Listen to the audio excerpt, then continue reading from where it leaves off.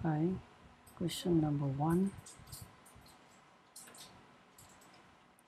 An object is placed 12 centimeter in front of the mirror and the real image form at the same size. So the first is uh, information you can find from the question is a uh, this is object distance u and this is a type of mirror we have a uh, this is mirror so we don't know what is the type of mirror. Convection convex or concave mirror. Uh, real image so this is a real image. V meaning the real image means the position. If you have the let's say you have a uh, let's say a concave mirror.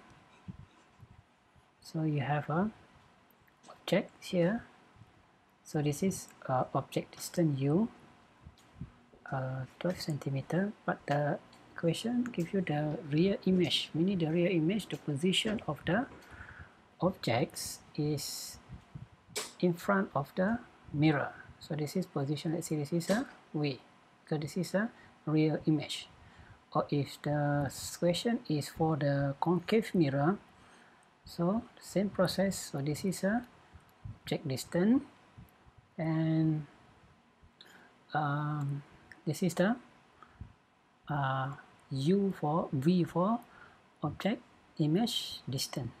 But this is for if the uh, concave mirror f is a positive and a convex uh, concave uh, convex mirror f is a negative right? So uh, number one number a calculate the focal length. So to calculate the focal length, you can use the equation 1 over f is equal to 1 over u plus 1 over v. So the question uh, said that object distance to cm and real image is same side as object. So meaning the form is is the same side uh, as an object, meaning is u is equal to v.